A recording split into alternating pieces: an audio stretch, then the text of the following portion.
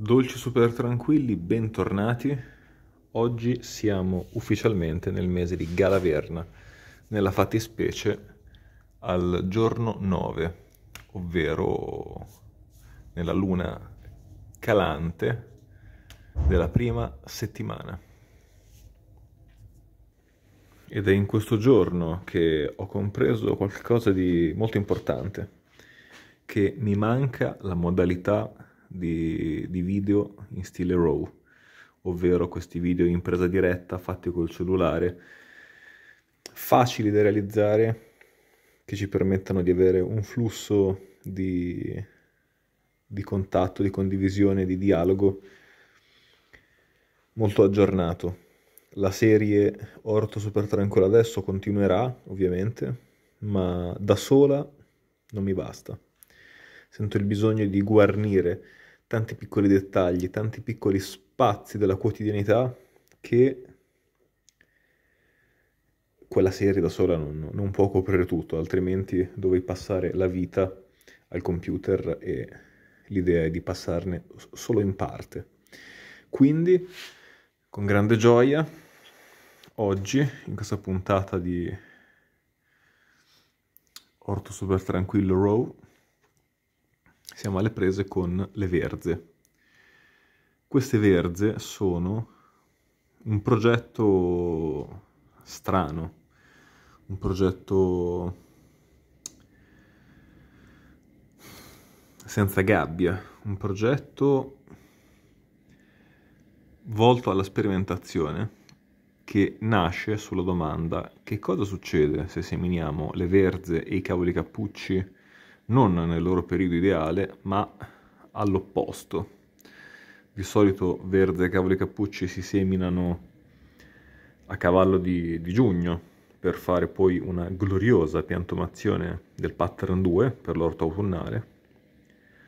In questo caso li abbiamo seminati a dicembre e adesso che è gennaio li stiamo ripicchettando. Perché? Perché tutto questo? Bella domanda. Perché tutto questo?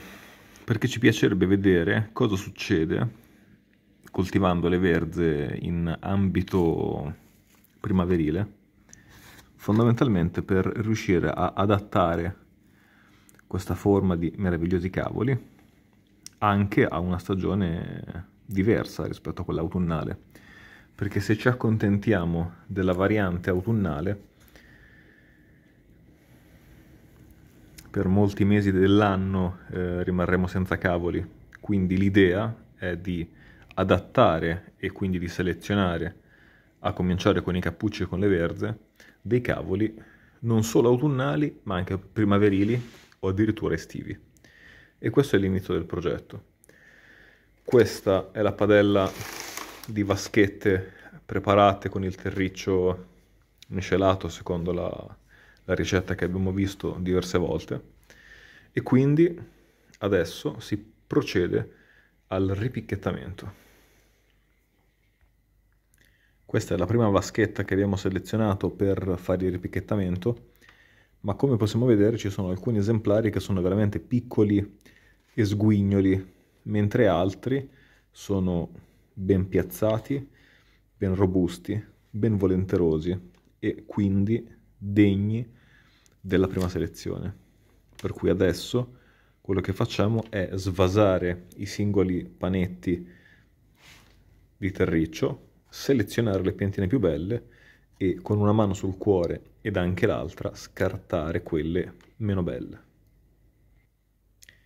Ecco la prima zolletta volta al, al ripicchettamento.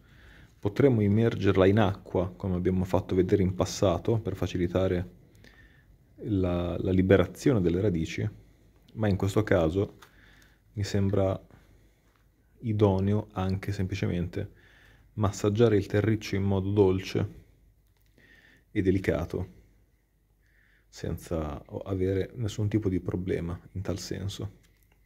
Ecco, su un paio di piante attaccate, così tanto attaccate come queste, sì, ci sta il fatto di usare l'acqua allora le mettiamo in ammollo e delicatamente l'acqua aiuta, almeno in parte, la districazione. Primo tentativo fallito, immagini, immagini forti, immagini, immagini agonizzanti. La difficoltà di fare video con una mano torna a farsi sentire. Radici molto lunghe rispetto a quello che effettivamente ci serve, ma ce l'abbiamo fatta. Quindi questa è la selezione, questi sono gli alveoli, cambio mano per essere a favore di luce.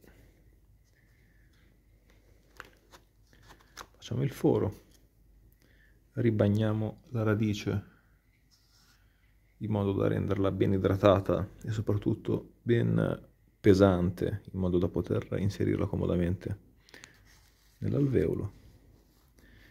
Richiudiamo delicatamente il terriccio cercando di far sì che il gambo sia il più profondo possibile, avendo cura di far sì che i cotiledoni, che sono questi, rimangano comunque fuori dal terriccio.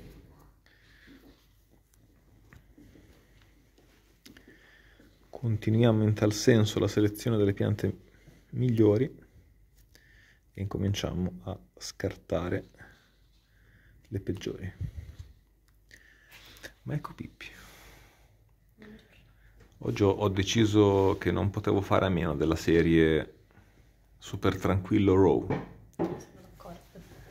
E quindi, sebbene la serie Orto Super Tranquillo adesso continuerà, ci sono molti dettagli della quotidianità che hanno bisogno di un cellulare e una presa diretta. Devono essere carpiti con la semplicità del mezzo di ripresa. E una luce caravaggesca, mi permetto di dire. Quindi stiamo selezionando le piantine più belline, piantuline più belline. Esatto. La stiamo selezionando. Forse è stato il passaggio di Arthur a istigare questa formula.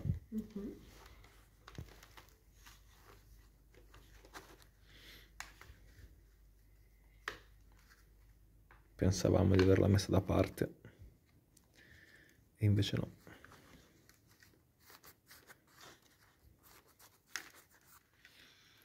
Queste se, se, se le tiro ho paura che si strappino, tu le stai rivoltando? Io li sto rivoltando, sì.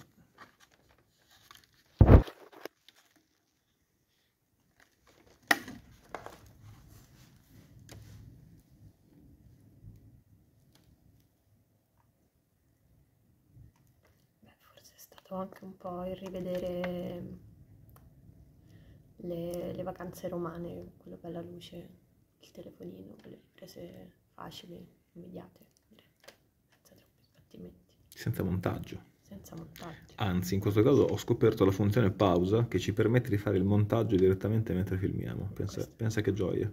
Glorioso.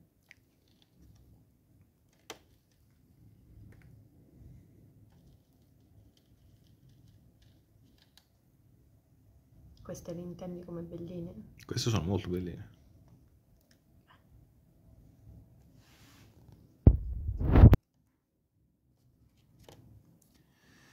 E un aspetto molto interessante di questo progetto, che noi chiamiamo cavolo tondo, è il fatto di far ricongiungere insieme geneticamente sia il, il cavolo cappuccio sia il cavolo verza, perché se ci pensiamo sia, la, sia, il cappuccio e sia la verza sono dei cavoli e la loro forma è tonda. Questo lo lasciamo in forza. Questo lo, lo scarterei direttamente. Mm.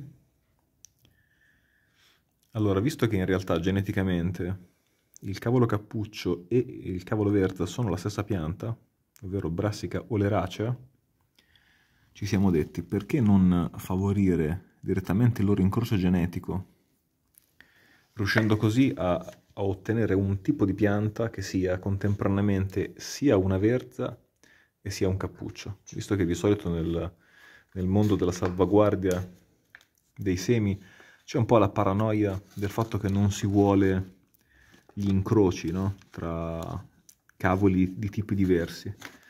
Allora mi viene spontaneo dire, e se incrociassimo i cavoli diversi ma affini, Questo è un discorso che era nato già l'anno scorso, ma per forza di cose non abbiamo potuto avviarlo. Beh, magari perché il pensiero arriva pure al, rimanda al, so, al cavolfiore che si incrocia con un cavolo nero e quindi viene fuori una roba che non si sa bene da che parte, da che, che direzione prende. Infatti il cavolfiore sarebbe carino incrociarlo col broccolo. Eh sì. Quindi anziché avere così tanti cavoli diversi che portano così tante problematiche in fatto di selezione dei semi per evitare gli incroci, se uniamo la verde del cavolo cappuccio, intanto da 2 diventa 1. Uh-huh. Se uniamo il cavolo fiore del broccolo, da 2 diventa 1 uh-huh. e già abbiamo semplificato di molto. Perché altrimenti la gestione del, del cavolame da seme per evitare incroci vorrebbe che ogni anno si facesse una sola varietà Oppure ci si perdesse dietro a pratiche di incappucciamenti vari. Che sono follia. Che sono follia, sì, ma magari inizialmente se si, se si ha la, la, voglia di coltivare più specie, specie cavoli. Sì, che tecnicamente sono, so, so, so, è, è, una sola specie, però sì, insomma. Più famiglie? sono, più varietà? Sì, sono, sono forse tipologie tipologie magari nel tempo si coordinano anche nelle fioriture. Magari il cavolo nero ritarda leggermente la, o, o anticipa leggermente la fioritura rispetto a un braccolo. Sì, e, in questo senso il fatto di unire tipologie diverse come, come la verza e il cavolo ma, ma, ma, ma, vuoi fare qualche ripicchettamento certo. per, per, l'inquadratura che ha fame di ripicchettamento? Sempre molto volentieri, mi manca lo strumento del... Usare una, una bandierina. Forse sai dov'è? È nella padella che è, che è là per terra, di, di, che ho appoggiato là dietro. Vabbè, adesso c'è Quindi di solito si parla di popolazioni evolutive mescolando specie affini, quindi il, il, mais con il mais, il grano con il grano.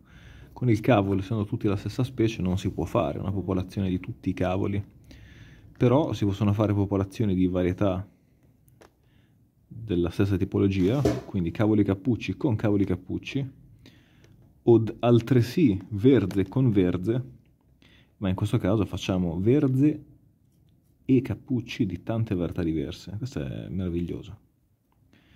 Mi sento molto entusiasta nei confronti di questo progetto, di questo esperimento, di questo progetto, sì. Infatti in questa parte della padella abbiamo un miscuglio di verze provenienti da, dal sito Sativa e dal sito Cocopelli, mentre da quest'altra parte abbiamo un mix di sgaravatti e tante altre verze recuperate qui e là. E ora procediamo con il delicato ripicchettamento e ci aggiorniamo. Posso dire che questa formula della terra asciutta sotto e bagnata sopra mi, mi piace come, come, texture e come gestione della, della terra? Cioè? Beh, forse perché tendenzialmente ho fatto tanti ripicchettamenti in estate, quindi bagnavo tutto tutto il contenitore lo mettevo nel, nel bidone ed era tutto bagnato, no? Mm-hmm. E quindi non ti rendi mai conto veramente di quanto si compatta la terra, di quanto la puoi strizzare. Invece avendo la, terra bagnata sopra, sotto rimane sufficina, la schiacci ma non diventa mai troppo troppo compatta. Soprattutto in questa stagione perché magari in estate si asciuga prima la terra, invece adesso se bagni tutto l'alveolo si possono fare delle muffe, ci può essere del ristagno. Beh, io dopo Ma un... questa la mettiamo? Mm. Teniamola in la, la, io la scarterei sinceramente. Beh, dopo però un goccino d'acqua con lo spruzzino io, sì. io glielo darei. Sì. Però tu dici però inserirla, esatto.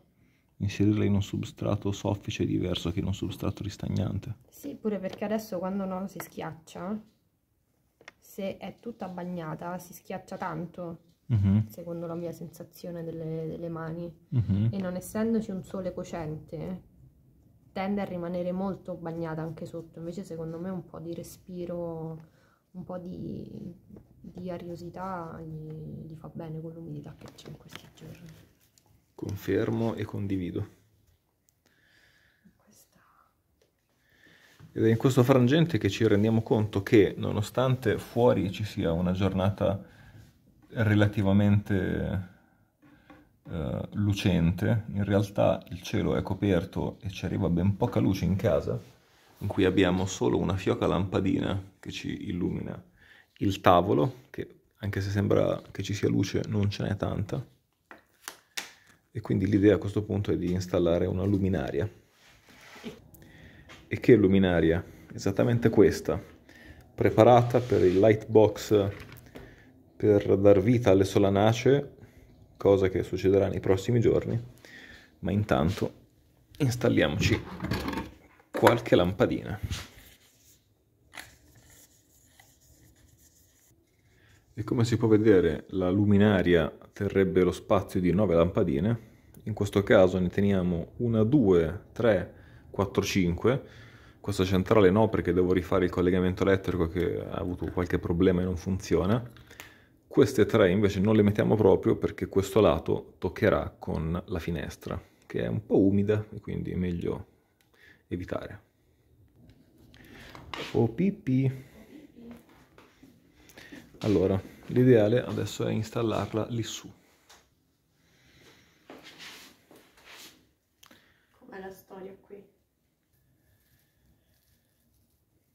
Ecco che slacciamo i cordoni portanti.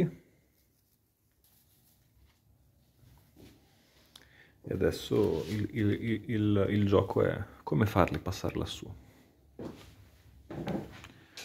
Se non con l'abilità. Attento al di sotto del filo elettrico. Sempre molto attento. Tanta abilità. Allora, tu ora prendi in gestione tutto. Io prendo questi. Adesso facciamo... facciamo... No, riesci quello...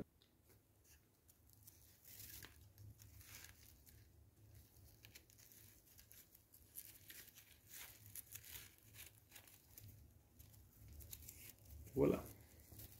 Tac. E la luminaria è installata.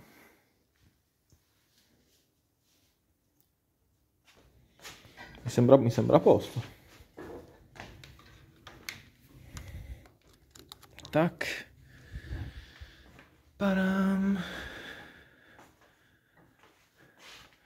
Questa fa finta di non andare. Bene, quindi io in realtà ne ho messa soltanto una di calda e sono tutte fredde. E io ho guardato allora, Aspetta che le cambiamo. Sì? Sì. Eccole tutte con il bianco caldo. Questa volta ne teniamo solo tre perché oggettivamente sono sufficienti per farci luce. E ripicchettiamo. Ed ora che la padella è quasi tutta ripicchettata, si passa all'idratazione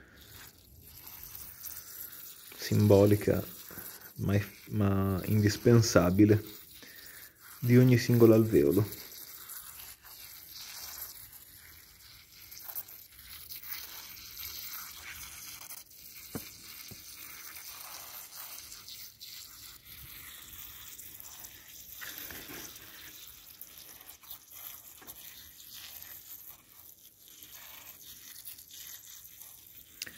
Dopo il ripicchettamento, in teoria, bisognerebbe lasciare le piantine almeno un paio di giorni lontane dal sole diretto, con una luce diffusa nell'aria, ma senza il raggio cocente. Vedremo, vedremo dove riusciremo a collocarle.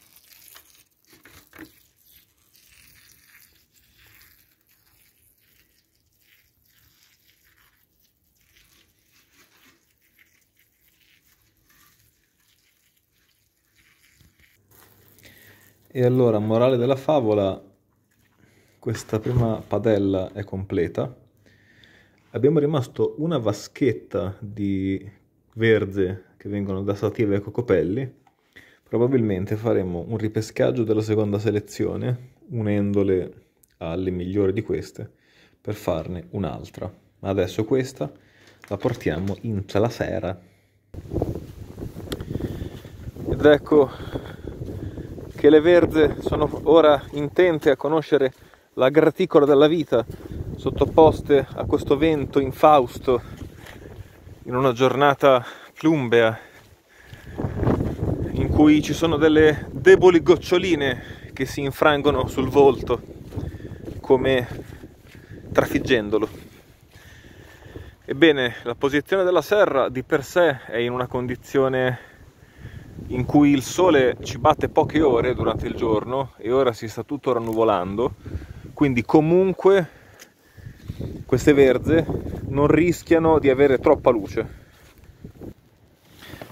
Permesso, eccoci qua con un bel pantano di fango allucinante.